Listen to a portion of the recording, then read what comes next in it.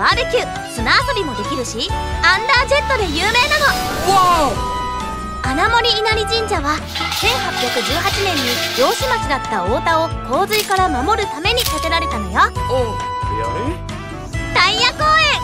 3000本のフルタイヤで作られた遊具があって子供も大人も楽しめるよ。So cool!